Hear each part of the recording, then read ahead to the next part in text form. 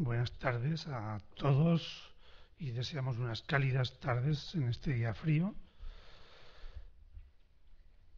Vamos a terminar hoy el ciclo este, porque la próxima conferencia no podremos tenerla por operación quirúrgica de Domingo Buesa, el ponente, que para entonces no estará repuesto todavía. Y lamentamos decirlo y por eso anunciamos ya que terminamos este ciclo aquí. El ciclo siguiente será en los días 11 y 18 de diciembre, pero ya será en otro ciclo distinto, dedicado a los 50 años del concilio, y será en la Sala de Acción Social Católica, no aquí en el Joaquín Roncal. Para el próximo trimestre, ya en febrero, tendremos otro ciclo dedicado a la lectura abierta de la Biblia, que el programa, aunque ya está, no está todavía impreso, y lo enviaremos a todo el que nos deje su dirección y si no, pues en Acción Social Católica se puede recoger. Para hoy, para terminar de esta manera el ciclo, tenemos con nosotros a Pilar de la Vega. Ella prácticamente ha vivido toda su vida en Zaragoza y ha dedicado su actividad intensa y apasionada a unas cosas que han sido un poco las coordenadas y los ejes centrales de su vida. La política, la educación, ahora la infancia y siempre la ética. Estudió historia, estudió derecho, combinó ambas cosas con su tesis doctoral sobre historia del derecho y en la política ha sido también casi todo. Le, llega, le ha faltado llegar a ser jefa de gobierno, porque ha pasado como diputada, ha sido consejera de Educación, previamente directora provincial de Educación y Ciencia, también luego delegada de Gobierno, y luego se reincorporó de nuevo a la enseñanza, que había comenzado en Borja, por allá por el año 76, y de, donde también ha pasado por todo, profesora, directora, y así en el mundo de la enseñanza ha estado también toda su vida muy centrada y ocupada pero ya desde hace unos años volvió al clarión, como decimos, a esa enseñanza práctica y cotidiana en relación directa con los alumnos y ahora es presidenta de UNICEF en la sección de Aragón. Le damos las gracias porque en su vida tan ocupada y compleja encontró un hueco para dedicarnos a nosotros y para dedicarnos lo dedican refiriéndose hoy a alguien que ha sido compañero suyo en estas lides de lo que es la política. Es que, Pilar, muchas gracias. Te vamos a escuchar con mucho interés y mucha atención.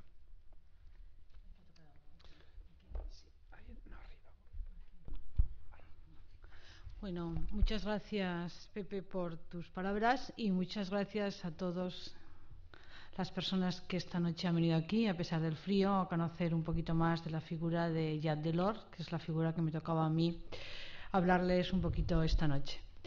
Eh,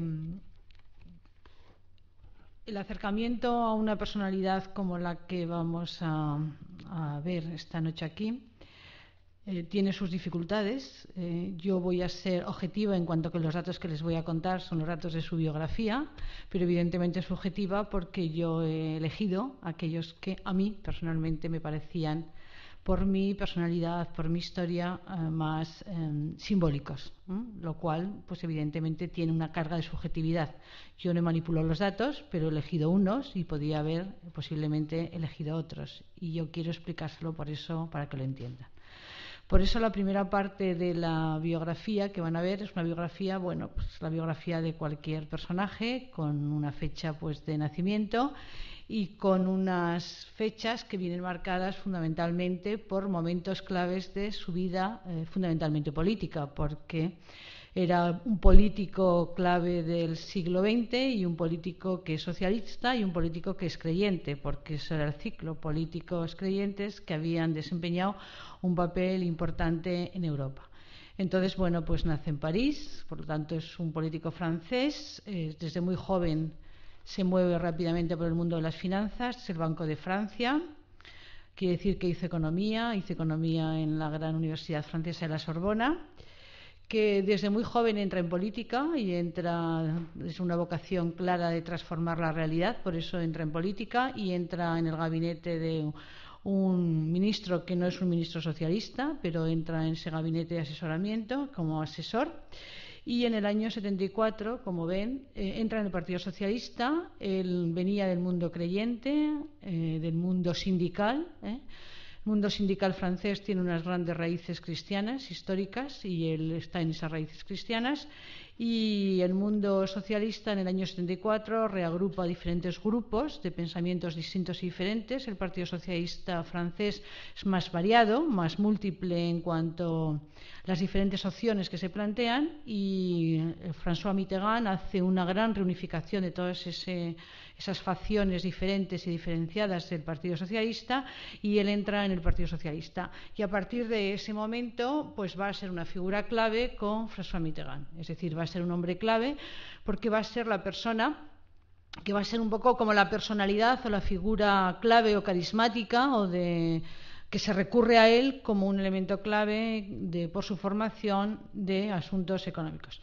Es ministro de Economía y Finanzas de François Mitterrand, con lo cual conoce bien al presidente. Es un hombre muy querido, muy valorado aquellos años en Francia, pero en un momento determinado da el salto y a partir de ese momento empieza la gran figura de Delors. Posiblemente, si se hubiera quedado como ministro de Economía del presidente francés, pues bueno, habría sido un político francés bueno, importante y conocido, pero su gran salto evidentemente lo da en el momento que entra a presidir la Comisión Europea. Y los años que él preside la Comisión Europea, el salto evidentemente es espectacular, que todos conocen y que yo pues evidentemente lo tienen aquí, pero no les voy a repetir porque él sienta las bases desde el Acta Única Europea, el informe de Lors que va a plantear la Unión Mauritania, que es la que va a posibilitar evidentemente el euro, que estamos viviendo y conviviendo con él, y el Tratado de Maastricht, que plantea evidentemente el cambio tan importante que eh, va a suponer después, como digo, la Unión Europea. Y además, en su época, se va a producir también, aparte del libro blanco sobre crecimiento, competitividad y empleo, que va a hacer en el año 93,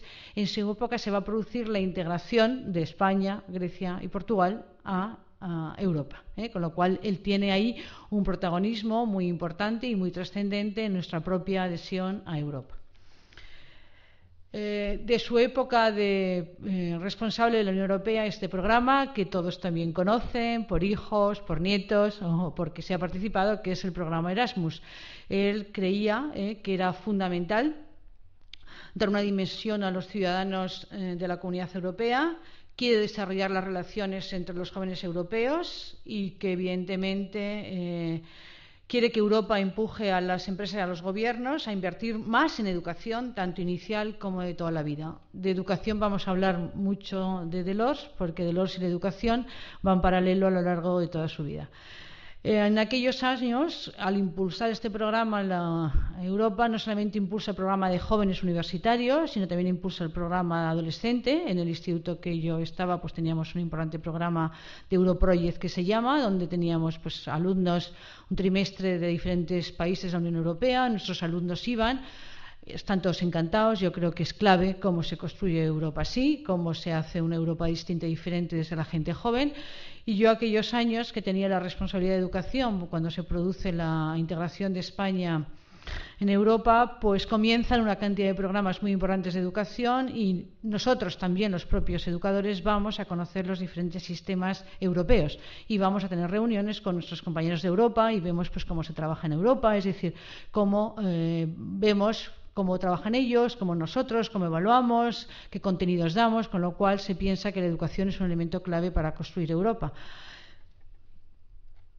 Eh, hay un discurso muy interesante que hace Delors en la ciudad de Brujas, en el que en el Colegio de Europa y honra a una persona clave que tienen ahí la fotografía, que es Denis de que él es un hombre eh, muy importante porque él empieza a defender unos años antes de hacerse la construcción de la Unión Europea la defensa de la dignidad del hombre. Esta es otra clave también de Delors, ¿eh? la figura del hombre, los valores y el hombre, lo que significa el hombre y por eso eh, él lo rememora y lo recupera para imponer valores para él fundamental. Y dos valores que también van a ver permanentemente cuando les explique al final unas reflexiones que he cogido de Delors. Dos valores para él eh, muy importantes. El valor de la libertad pero también el valor de la solidaridad, es decir, porque él cree como valores para construir Europa estos dos. También este es un hombre que, lo mismo que Delors, porque son personas que han visto lo que ha significado la Primera y la Segunda Guerra Mundial, la Primera Guerra Mundial, como saben, es el enfrentamiento de los nacionalismos. Se enfrentan los grandes imperios nacionales en una guerra fratricida. La Segunda Guerra tiene otros componentes, pero la primera es muy dura, el enfrentamiento fundamentalmente protagonizado Francia y Alemania. Ellos, evidentemente, creen que tienen que superar ese enfrentamiento de los nacionalismos y nada mejor, ¿eh? como les habrán explicado los días anteriores, que evidentemente construir Europa. Y para ellos sí que es muy importante el mercado, porque evidentemente sin mercado, sin competitividad no hay riqueza, pero no solo el mercado. ¿eh? Por eso él cree en la Europa de los ciudadanos y esa Europa de los ciudadanos se construye fundamentalmente con esos valores. Por eso dice, quiero no solo unir a los pueblos, como Joan Monet quería, también a las naciones asociadas para, evidentemente, evitar ese enfrentamiento que se producía años antes. Y Europa también para él es muy importante en este discurso que hacen brujas, debe moverse sin que otros decidan por ella. Y este es el gran reto que tiene Europa, porque evidentemente lo estamos viendo ahora, habría algunos otros territorios del mundo que no les gusta que Europa tenga capacidad de decisión y bueno, estarían por poder romper nuestro modelo europeo.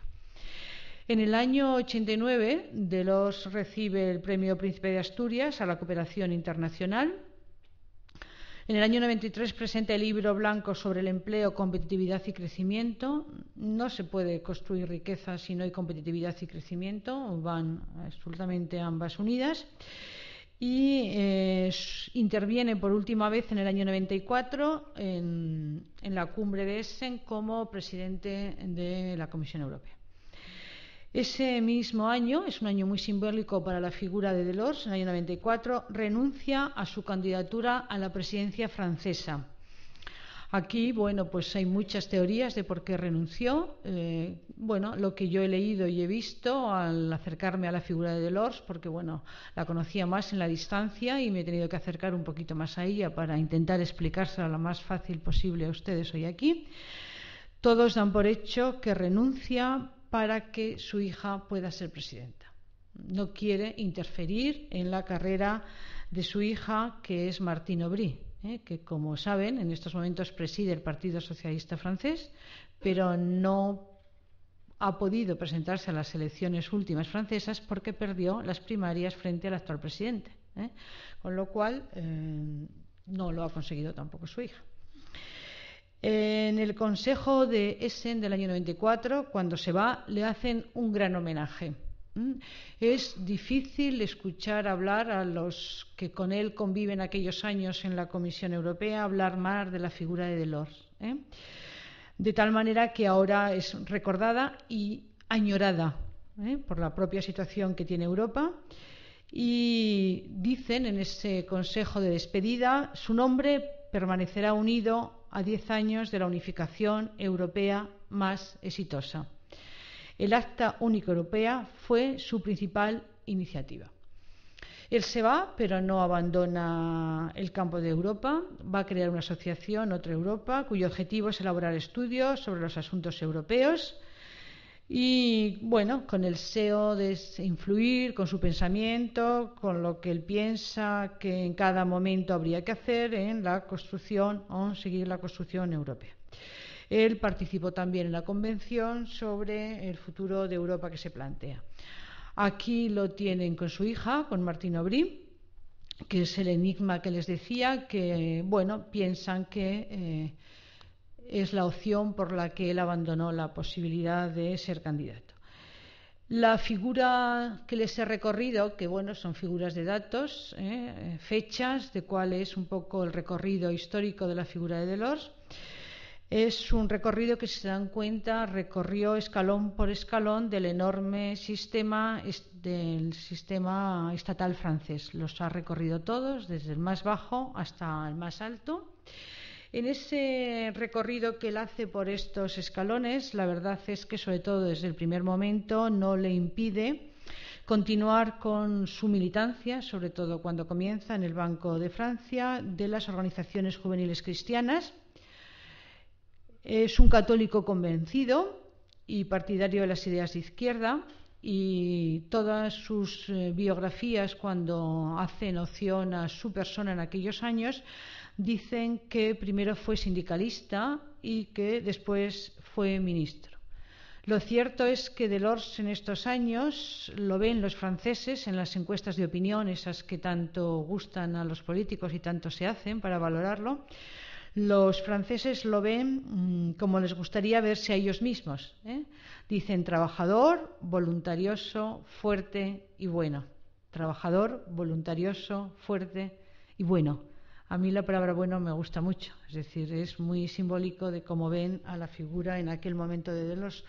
Por lo tanto, tenía todos los bonos, todos para ser evidentemente el hombre que pudiera presentarse a las elecciones presidenciales de 1995.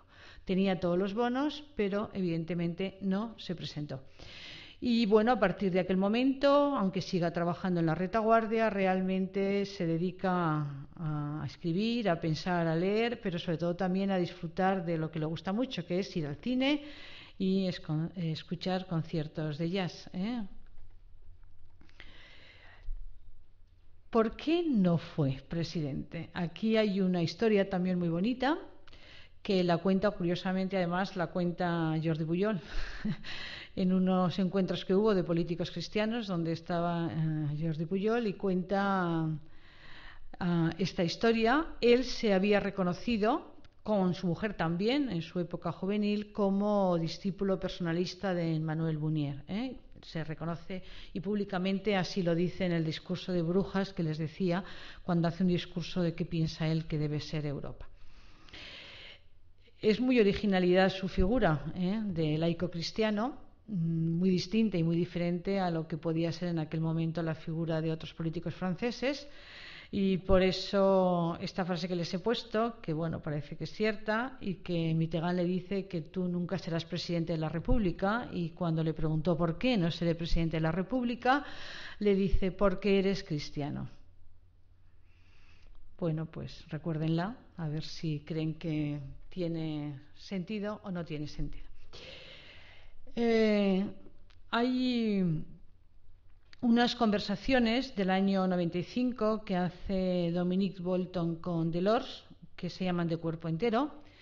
Y yo ahí les he puesto unas reflexiones, porque son quizá las reflexiones del Delors más creyente, ¿eh? ya no del Delors político, que les he explicado a lo largo de su trayectoria política desde bueno, que comienza en el Banco de Francia hasta su presidencia de la Unión Europea. Y estas reflexiones eh, serían desde una opción de una persona creyente porque como tal se las plantea. Me parece que tienen bastante, mm, como les diría yo, dicen mucho en el mundo en que estamos viviendo. ¿eh? Es decir, no parece que estén demasiado viejas ni hayan pasado demasiado de moda. Creo que estarían de plena actualidad se declara católico laico. La crisis moral podría posibilitar el diálogo entre creyentes y no creyentes. Posiblemente sería más fácil. No hay verdades tan inmutables para hacer ese diálogo en la crisis en que estamos viviendo. Los hombres y las mujeres son autores de su propio cambio, si quieren que éste resulte eficaz y verdadero. Si quieren en vez de hombres y mujeres pongan ciudadanos como elemento clave de transformación. Para que haya más solidaridad debe haber una sociedad más activa. No se queden en casa, participen.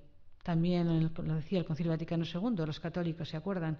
Católicos en la vida pública y no en las casas si queremos realmente que se produzcan cambios. Que se sientan responsables ante los demás y ante la sociedad. Y el laicismo es un valor esencial para la democracia porque implica tolerancia y aceptación de los otros y la posibilidad de que cada uno asuma su propio itinerario espiritual y filosófico. No podemos imponer nuestra moral, ese es el laicismo y el respeto a la democracia dice que se legisla de acuerdo con lo que determinan los ciudadanos que eligen el poder democrático para poder legislar. No podemos imponer, laicismo y democracia van de la mano. Es decir, esto es fundamental que todavía en algunas sociedades no se acaba de entender y por eso se define como católico laico. Pero evidentemente eso no quiere decir de que no tenga nada que decir como católico y como católico dice, es decir, la religión no se queda en el mundo privado, sino que debe trascender al mundo público. No atiende, por lo tanto, la versión o la tesis que mantenía la Ilustración. Y dice por eso que el laicismo es un progreso histórico, pero es necesario que quien sientan una responsabilidad moral o espiritual puedan actuar siempre que y cuando reúnan valor para ello, siempre que y cuando reúnan valor para ello. Por eso les decía que tienen que pronunciarse y decir. Es duro con algún sector de la Iglesia, con la Iglesia francesa, y dice que la Iglesia debe ser coherente con lo que predica. Y los dos valores para él esenciales de una sociedad laica, de una persona creyente, de una sociedad laica, son esperanza y caridad. Por eso, para él, el valor fundamental es el valor de la comunidad. Por eso les decía que la palabra es solidaridad, es comunidad, es amor. Recuperar equilibrio entre el individuo y la sociedad, entre la persona y la comunidad, para que una comunidad, para una comunidad abierta que no controle el monopolio de la verdad.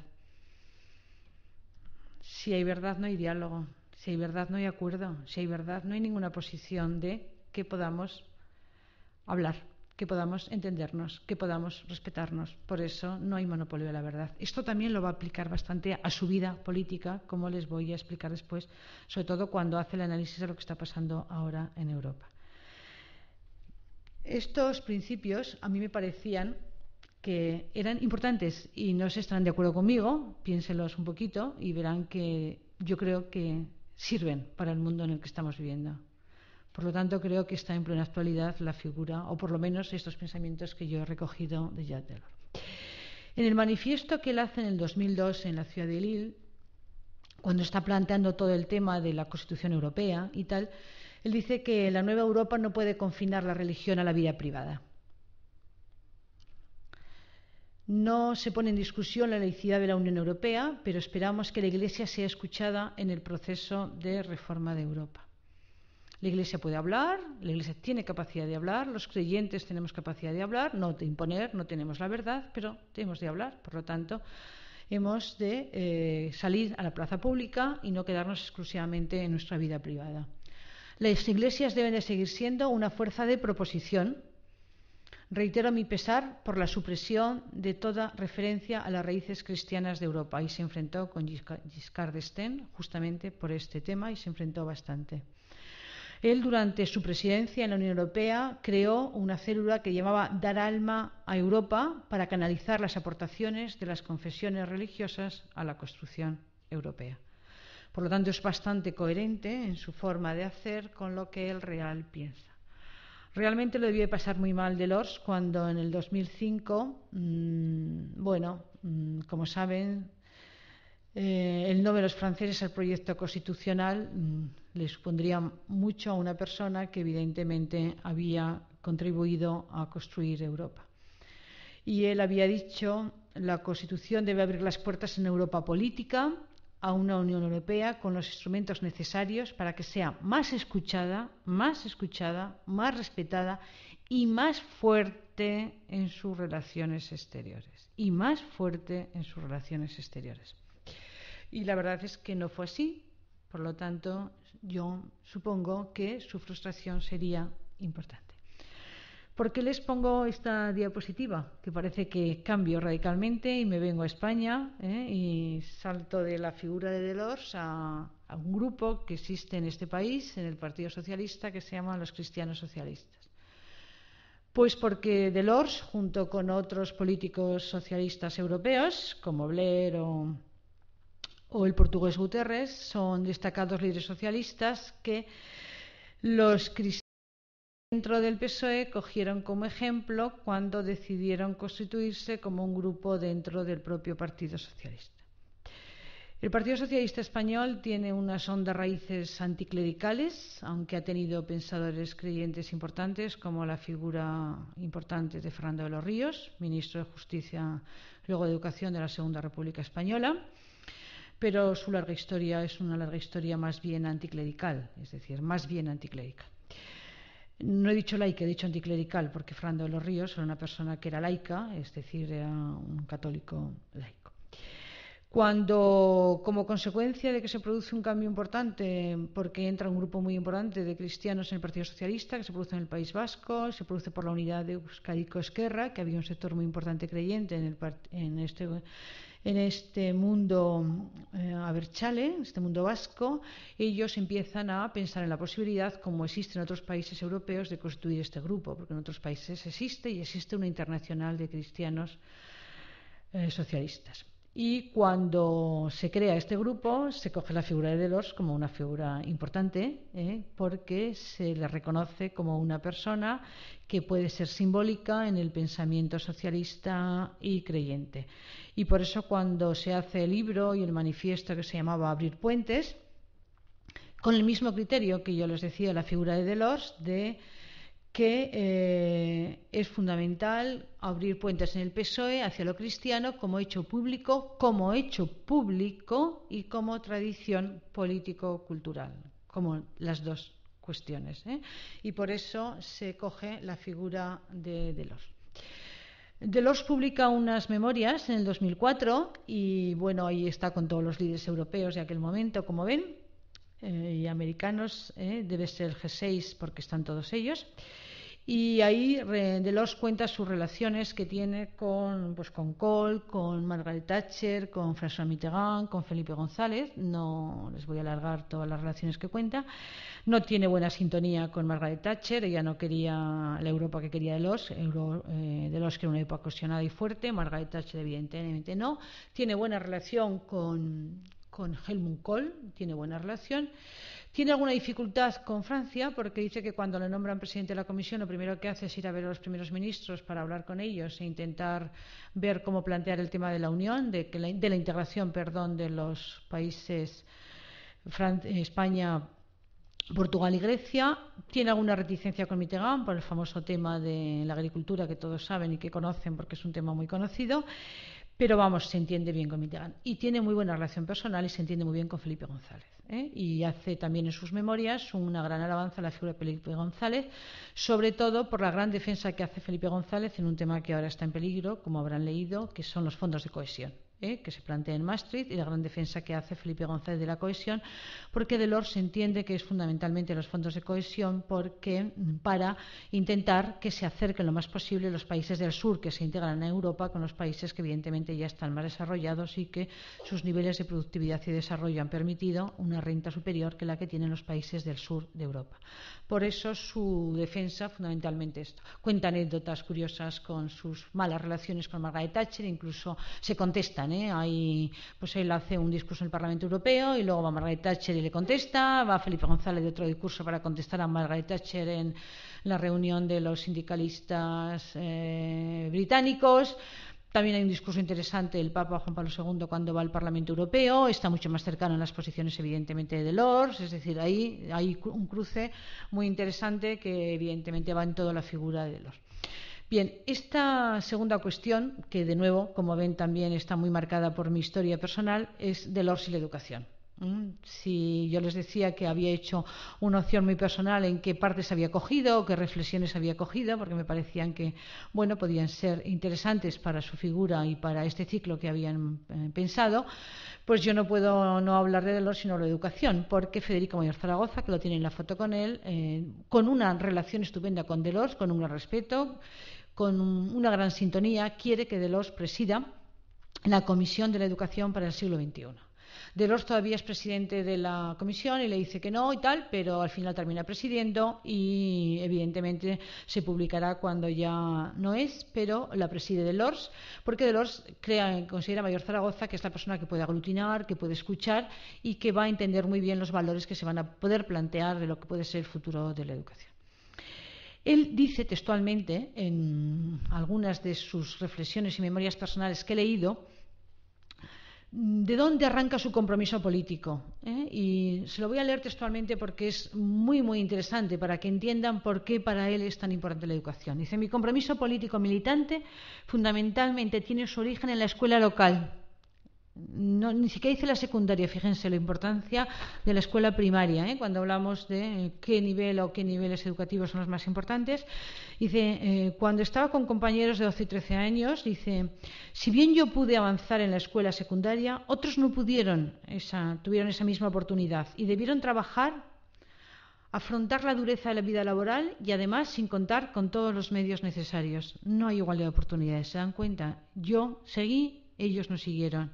Fue entonces cuando me juré que lucharía contra la desigualdad de oportunidades y es evidente que la educación juega un papel esencial entre los instrumentos para luchar contra esta desigualdad de oportunidades.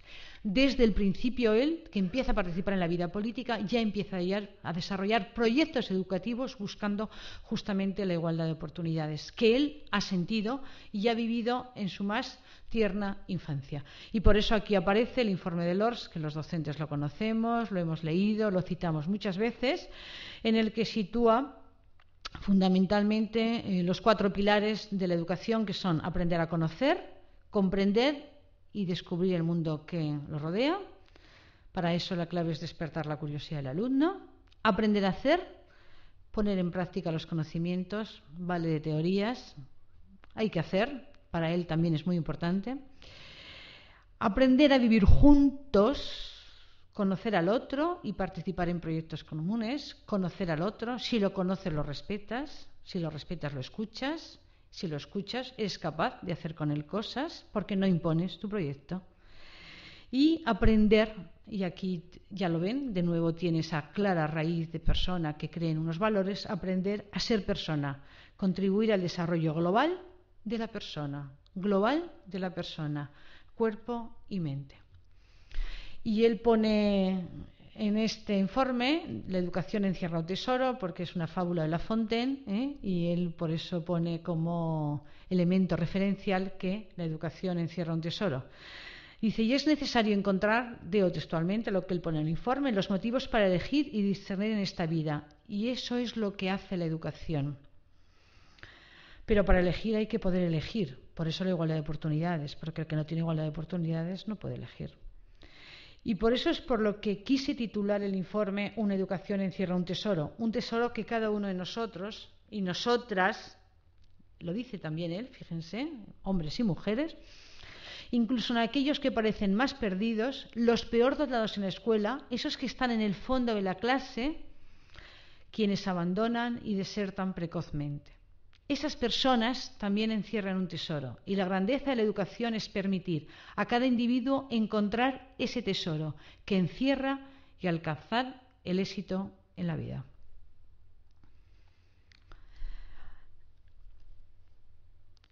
Eh, voy a terminar porque yo no quiero ser muy larga, es decir, las clases los alumnos las aguantan 30 minutos, 35 más no, y al final todo el mundo se cansa.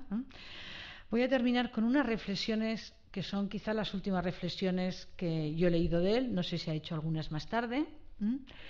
Eh, unas reflexiones, y estas sí que son políticas, algunas evidentemente están trufadas, y de hecho están trufadas de grandes valores éticos, ¿eh? pero tienen mucho componente político. ¿eh?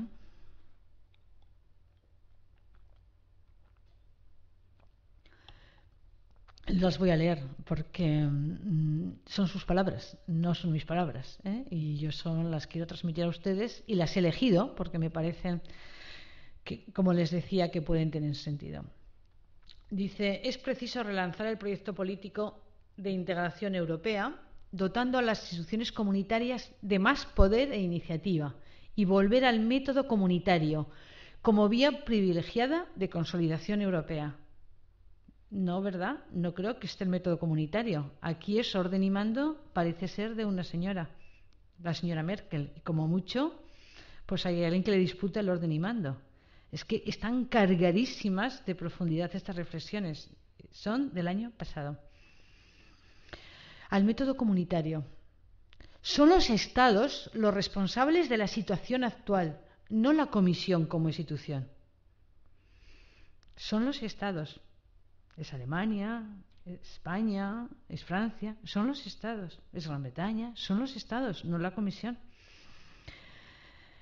Pero se ha querido ignorar el método comunitario que él defendía y que defendió por razones de comodidad, porque la opinión de la Comisión hubiera podido molestar a algunos gobiernos. No sé si de comodidad o también de que es más fácil porque ahora son muchos. Él también se va a pronunciar qué piensa con la gran ampliación que ha habido después, cuando él ya no era presidente. Jean Monnet, que aquí también lo han conocido y que les he puesto en la foto, decía que son los hombres quienes hacen el cambio, pero la las instituciones quien lo permiten.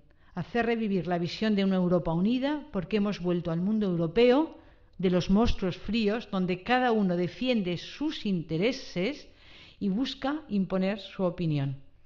¿Qué intereses defiende la señora Merkel? ¿Los de los alemanes, los de sus votantes alemanes, los de sus jubilados alemanes, los de las elecciones que tiene o los intereses de Europa? ¿Por qué no han aprobado un presupuesto el otro día? ¿No se han puesto de acuerdo? Porque a lo mejor los intereses de Europa no coinciden con los intereses de sus votantes alemanes. Seguimos con sus reflexiones. Esta es muy dura. Dice, se está produciendo de alguna manera una reflexión muy dura, una auténtica destrucción sistemática de algo que era admirado en el mundo. Sí, porque somos el espacio del mundo donde tenemos unos niveles de libertad, de igualdad, de tolerancia y bienestar social mejores del mundo. Por eso yo creo que, evidentemente, era admirado en el mundo. Él es una reflexión muy triste la suya, pero yo no sé si no es cierta. El modelo europeo se ha puesto en cuestión y me entristece porque éramos una referencia. Los padres fundadores pensaron no solamente en términos de valores, sino también en términos institucionales. Este es un político. Si no hacemos leyes no sirve para nada el pensar. Por eso es tan importante los votos, la democracia las instituciones, los parlamentos para hacer las leyes, porque si no, no sirve para nada. Evidentemente la ley no cambia, pero sin ley tampoco hay cambio. Los valores después habrá que verlos en las leyes. Si la construcción de la democracia es también una construcción institucional y si construir Europa conlleva una construcción sabia, no se trata de dar a la Comisión poderes superiores, pero sí tener un sistema con referencias y la obligación de lograr éxitos.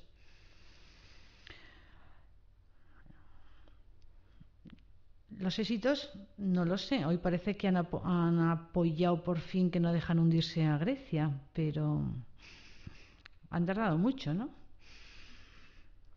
No es otra cosa que concentrar la sabiduría de los hombres en un marco institucional y moral. Eso debería ser, en un marco institucional y moral. Valores e instituciones normas que tienen unos valores determinados. ¿Qué piensa de la ampliación? Porque claro, una de las claves posibles de que a lo mejor hay problemas en el propio funcionamiento de la comisión es la ampliación, la dificultad de ponerse de acuerdo, la dificultad de consensuar, consejos muy largos de mucha gente la dificultad de integrar a estos países, hay que dotarles de fondos de cohesión, como se planteó el gran debate de la cohesión para los países del sur de Europa, pero claro, si nosotros ya hemos llegado a unos niveles de renta y ya estamos en una situación semejante a la europea, tendremos que perder fondos de cohesión, pero no todas las regiones han llegado a la misma situación homologable. Parece que tenemos algunas que todavía no, que ese es el tema que se planteó el otro día con el presupuesto europeo y el debate que planteaba el, el presidente de nuestro gobierno, señor Rajoy.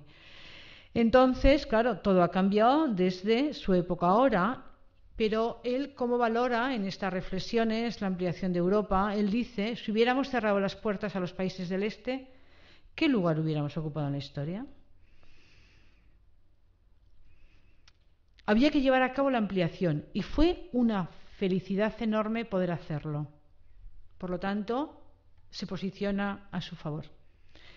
Hace falta personas que piensen que el interés europeo es el interés nacional. Fíjense qué frase tan breve y tan importante. Hacen falta personas que piensen que el interés europeo es el interés nacional. ¿Esa sabiduría se ha perdido? ¿Realmente? No lo sé. Contesten. Con todo lo que están viviendo, contesten. Hay que pensar en la unión desde la diversidad, porque esa es la riqueza de Europa. Solo tiene muy claro la diversidad. No todos somos iguales y Europa además tenemos mucha gente que ha venido de otros territorios, porque evidentemente vienen a Europa por nuestras condiciones de vida, de respeto, de valores.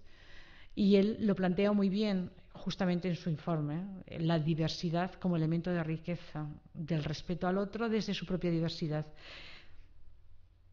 Europa tiene unos valores comunes, herencia de su larga historia.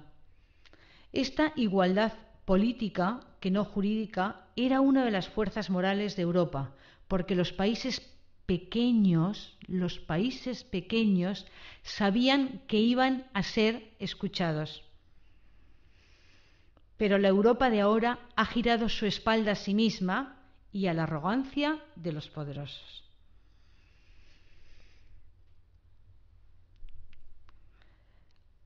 Si se dan cuenta, permanentemente se está hablando de Europa, de la alianza franco-alemana, de que si ahí la alianza interviene Gran Bretaña, qué pasa con Italia, si se suma o no se suma, qué pasa con los pequeños, dónde están. Bueno, ahora la tendencia es buscar un anclaje en lo local y los políticos astutos practican un nacionalismo ambiguo. Y una frase con una gran dureza. Estamos en el mundo del individualismo. Y dice el individualismo contemporáneo es una realidad. Sálveme yo y los demás, ya veremos. Lo que hoy pedimos a nuestros gobiernos es que recuerden que la cohesión social, el respeto, la estima por el otro, es decir, el querer vivir juntos como una forma de salvar la humanidad, era un proyecto europeo anti-egoísta.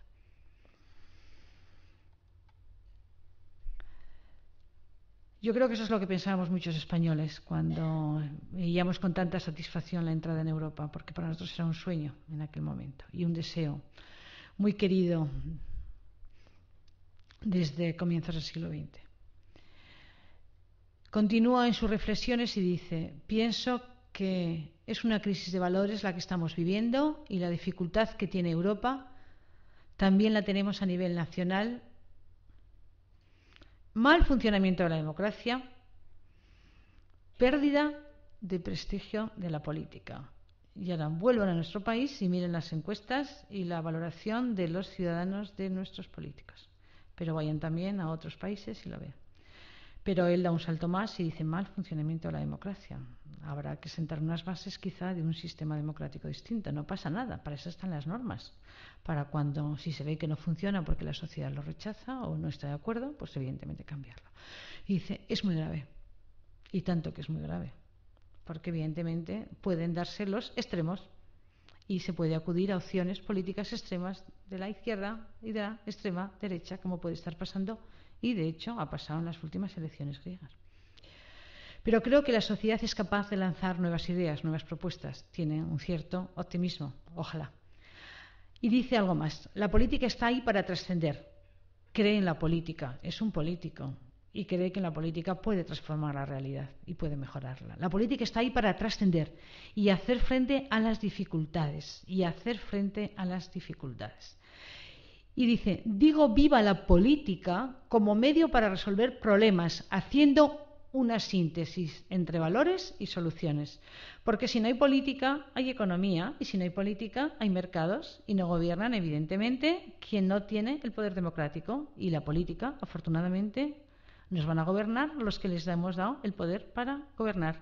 Por eso digo, viva la política. A lo mejor no me gusta, y dice, no me gusta la actual política, habrá que cambiarla. No me gusta la forma de hacer política los políticos actuales, pero digo, viva la política, porque sin política, evidentemente, volveríamos a la dictadura de la economía, de los mercados, y no, evidentemente, de la opción que las personas plantean. Bueno, se ha debido sentir un poco contento cuando, digo yo, se enteró que le dieron a la Unión Europea el Premio Nobel de la Paz, porque al fin y al cabo él, como han visto ustedes, es el gran constructor, nadie se lo niega, de la Unión Europea, nadie se lo niega. Y él dice, cuando se enteró, dice, es un mensaje moral y político, es un mensaje, fíjese de nuevo, relaciona siempre las dos cosas, moral y política, y dice, una gran emoción, porque, dice, los tres últimos años han sido muy difíciles. Esto demuestra que valores como la confianza y la solidaridad pueden llevar a un mundo mejor, dice cuando se entera de esta. Eh, yo que les diría de conclusión, que supongo que ustedes también se han hecho su propia conclusión después de esta explicación o este acercamiento, pequeño acercamiento que yo les he hecho a la figura de Delors, pues yo les diría que está bien claro que, que sirve lo que nos dice, que tiene en plena actualidad sus palabras, que dice cosas muy, muy atractivas y muy interesantes y para mí fundamentalmente si me dejan destacar algunas, destacaría la clave del laicismo unido a democracia. Me parece absolutamente fundamental en el momento en que estamos viviendo. Me parece absolutamente fundamental la palabra esperanza y caridad como elementos claves de una persona creyente pero que confía en una comunidad, en una comunidad abierta y una comunidad tolerante que acepta al diferente.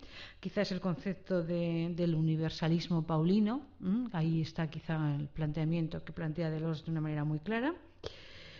Y su opción que plantea de la política, pues creo que en el mundo en el que estamos viviendo es de una ejemplaridad y de una claridad manifiesta porque la política está para resolver problemas, no para enfrentarse a los políticos, no para decir tú más. En el momento en que estamos viviendo con una crisis muy importante en nuestro país, pero también en Europa, lo que tendrían que hacer los políticos es sentarse, ser capaces de pactar y dialogar, hacer una síntesis entre valores y soluciones, en qué ponen el acento, si en el que menos tiene, si en la igualdad, si en la solidaridad o en qué ponen el acento entre valores y soluciones, pero tampoco podrán, evidentemente, obviar el tema de la competitividad, de la innovación, porque si no, no habrá crecimiento. Fíjense, entre valores y soluciones, porque podemos poner mucho valor, pero si no ponemos soluciones, no podremos poner, evidentemente, en el otro lado de la balanza el valor, el valor, por ejemplo, de la igualdad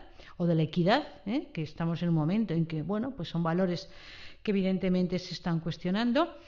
Y bueno, pues para terminar, ¿qué quieren que les diga? Es decir, la figura de Dolores desde el punto de vista de educación es una figura que las personas que hemos trabajado en educación nos ha marcado profundamente porque yo creo que busca un binomio muy importante entre dos claves, equidad y calidad. Equidad y calidad. Es decir, la equidad es la que permite la igualdad de oportunidades ¿eh? y la enseñanza universal pues significa justamente igualdad de oportunidades, alargar la escolarización. Es plenamente consciente de los que las dificultades mayores están en el mundo de la adolescencia, en el mundo de la secundaria. Es de los, y esto el informe de los, Delors hace también una clave y un matiz de que dice que sin los profesores, sin los profesores, sin los docentes, hay muy pocas cosas que hacer. Es decir, él pone el, acento en valorar la figura del docente, en reconocer y ponerle en elemento fundamental de la sociedad al docente. Quien lo ha hecho, que han sido los finlandeses, han logrado evidentemente que su educación en el informe PISA sea las mejores eh, que aparecen, porque el, docente es lo que todo el mundo quiere ser, todo el mundo lo respeta, todo el mundo lo valora. Eh, los mejores estudiantes van al mundo de la docencia, él evidentemente por eso pone el acento en el mundo de la docencia, y Delors también pone un acento fundamental en la inversión, es decir, sin inversión en educación, una inversión que no puede ser justa ni a corto plazo, no puede ser una inversión electoralista, no puede ser cortoplacista, sino que evidentemente tiene que ser una inversión, una inversión pensando en el largo plazo, porque la educación para ver los resultados tiene que ser un largo camino manteniendo la inversión desde la infantil, pasando por la primaria y secundaria, evidentemente llegando al mundo universitario y llevando al mundo de la investigación. Él además pone un acento que la educación es para toda la vida, para toda la vida, lo cual también es fundamental, la educación de las personas adultas, que no existía en el mundo en el que estábamos viviendo y que lo pone en marcha también este concepto que él plantea, una educación para toda la vida. Por lo tanto, me parece que es una figura que tiene plena actualidad el mundo que él plantea y las claves que él plantea en el mundo educativo por todo lo que en estos momentos estamos viviendo. Por eso, déjenme que les termine evidentemente con una fotografía de que ellos no son el futuro, son el presente. Es decir, los niños no son el futuro, los niños son el presente y sin presente no se construye futuro. Y ellos no son el problema, ellos son la solución. Por lo tanto, eh, si trabajamos con ellos, es posible que encontremos una solución. Por eso, la clave de, la educación es un elemento fundamental. Realmente, si mm, digo que mucha gente echa en falta la figura de Delors, en estos momentos es porque quizá tenemos demasiados políticos electoralistas y pocos políticos estadistas. El estadista es el que es capaz de pensar en generaciones y el político solo piensa en elecciones. Por lo tanto, quizá todavía es una figura que, desde mi punto de vista, era un estadista. Pensó en generaciones y no pensó en elecciones. Gracias por haberme escuchado.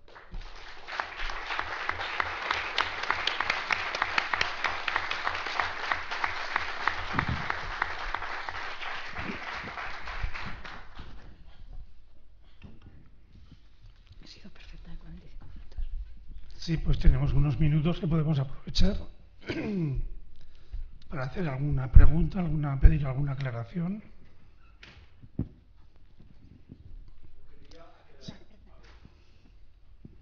simplemente es aclarar un concepto que ha repetido varias veces en su exposición y es qué es exactamente que se entiende por cristiano laico.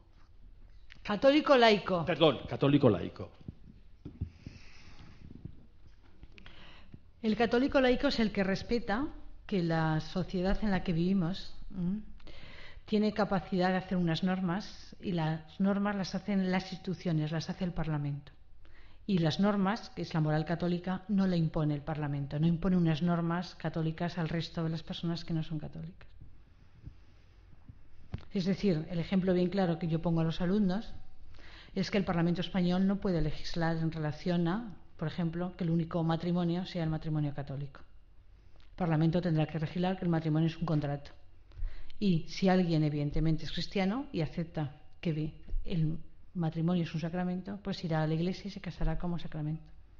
Pero no puedes decir que el único matrimonio que tiene validez es el católico.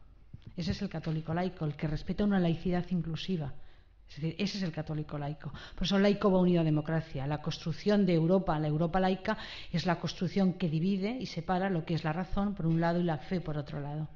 Razón y la fe no pueden imponer las creencias a los que no creen esas creencias y no las pueden imponer con una norma jurídica. Ese es el respeto del católico laico que también la gente creyente le llama a eso una laicidad inclusiva, porque eso significa que el católico laico tiene capacidad de decir y de decir públicamente lo que opina de determinadas cuestiones. Un católico puede salir a la plaza pública y decir que hay determinadas leyes que no le gustan, que no está de acuerdo con ellas. Un determinado católico laico puede salir diciendo que evidentemente los desahucios pues, están atacando a valores, a personas, ¿eh? es decir, no tienen un compromiso con solidaridad o determinados valores cristianos. El católico laico puede salir a la plaza a decir que está pasando con los emigrantes. O el católico laico puede salir a determinados temas que está pasando pues, con las mujeres, con el maltrato, con los niños, es decir, puede decir y puede opinar, pero no puede imponer su moral en una ley. Ese es el católico laico. Ese es el laicismo. Eso es lo que quería decir.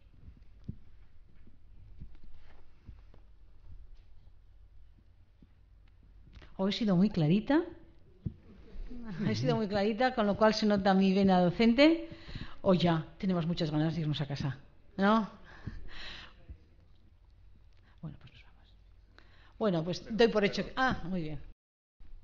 Y entonces el católico no laico no puede decir nada, no puede salir a la plaza pública a decir lo que piensa. Sí que lo puede decir, pero el católico que quiere imponer eh, puede salir a decirlo también, pero eh, el católico católico, que no respeta el laicismo, es el que quiere que las normas respondan a la moral católica. Esto estamos viviendo lo distinto, pero con el mundo musulmán. Hay un musulmán laico y hay un musulmán que quiere que evidentemente se haga la ley de acuerdo con la Sharia. Eso es lo que quiero decir.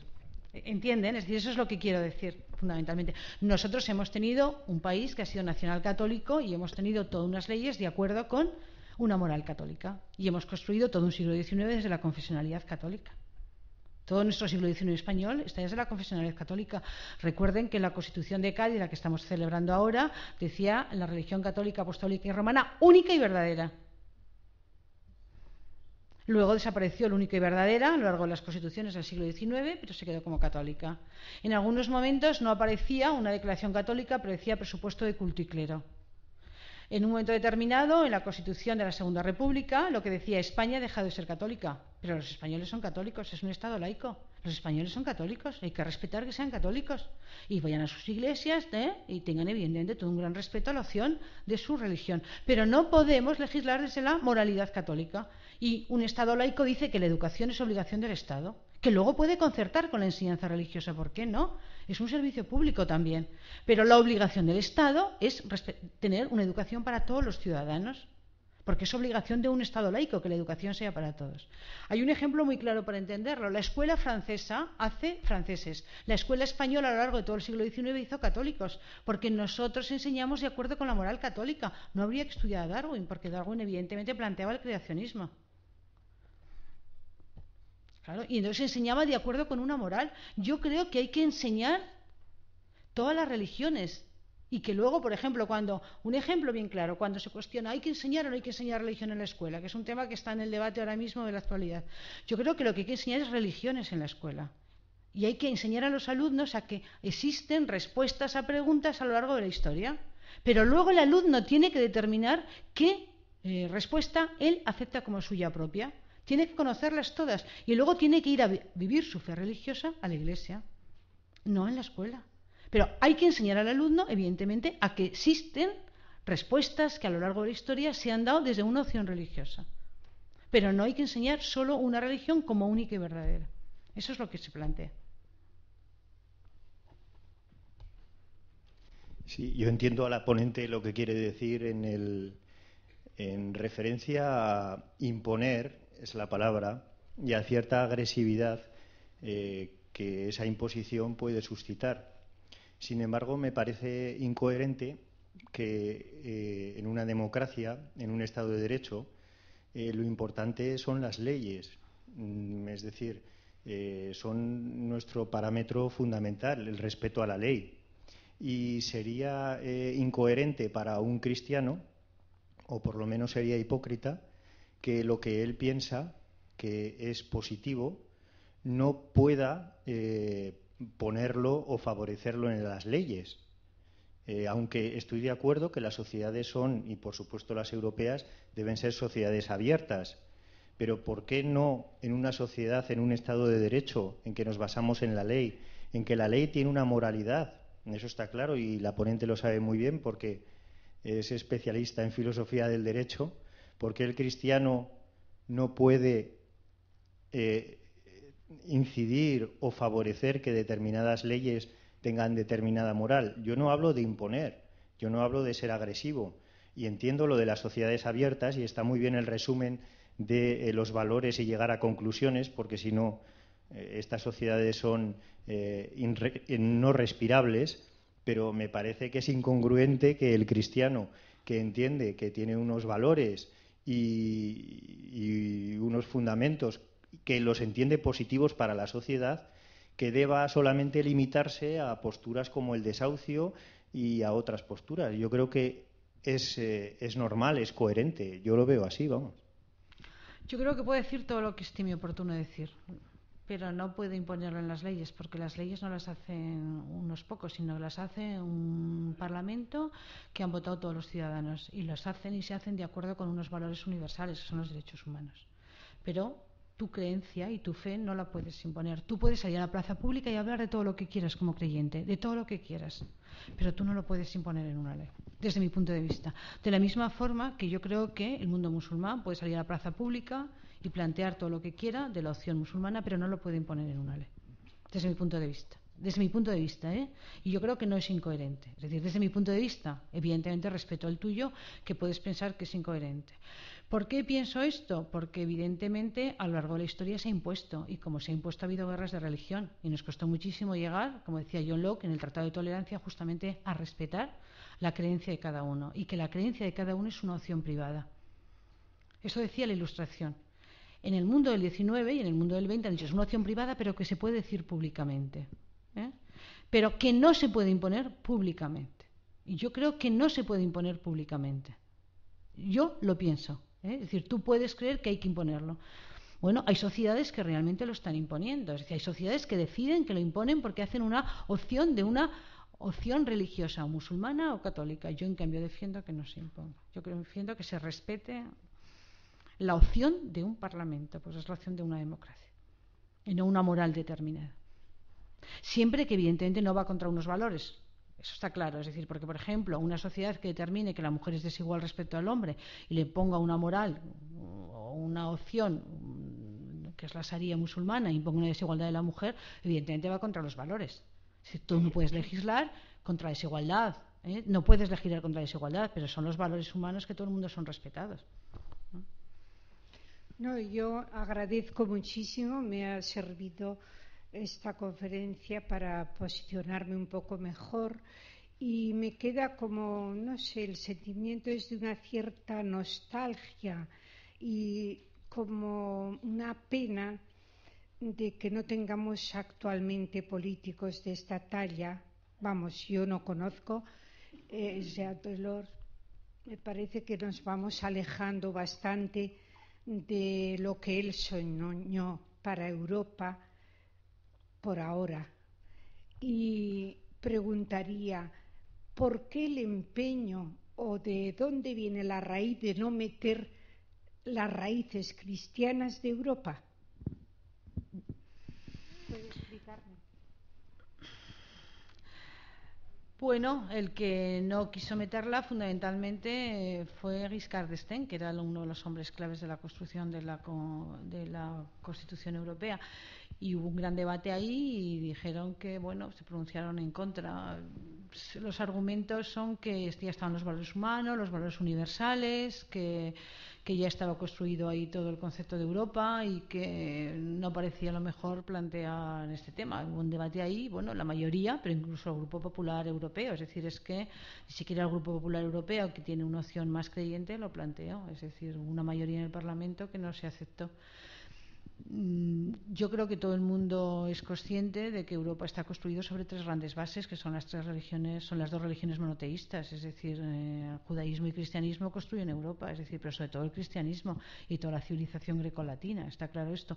Todo el mundo lo da por hecho, pero luego a la hora de plantearlo en una norma se plantea que bueno, pues puede ser un elemento quizá de división o de plantear una desigualdad y no se hace. Es decir, es un tema complicado y complejo porque hubo muchísimos debates en relación a eso. El Papa, por ejemplo, pidió en el Parlamento Europeo que se plantease el tema, de, tema cristiano. Pero no lo, no lo aceptaron. ¿eh? Y Giscard, ¿eh? es un hombre de la derecha francesa y no lo aceptó.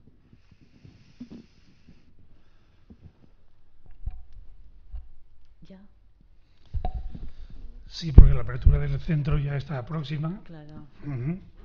Si antes de terminar, dar las gracias de nuevo a Pilar por este rato que nos ha hecho pasar tan interesante por abrirnos a una figura tan destacada a nivel político y un creyente muy sólido, muy firme, con una gran fundamentación de su vida personal y de sus convicciones políticas también. Él siempre hacía esa referencia a que para recuperar el sentido del compromiso político los europeos deberíamos volver mucho a nuestras raíces espirituales. También recordar que el próximo martes entonces no tendremos el final de nuestro ciclo. Una pena porque junto con Jacques Delors, Romano Prodi el italiano que han vivido que seguramente así con más fuerza todo el problema de la confesionalidad antes del concilio y de la no confesionalidad del compromiso político de los cristianos después del concilio, pues ellos que lo han vivido así, pues no, lo podamos escuchar. Domingo Buesa nos ha prometido que si queremos él lo dará más adelante. La, dificultad será encontrar el momento oportuno para hacerlo.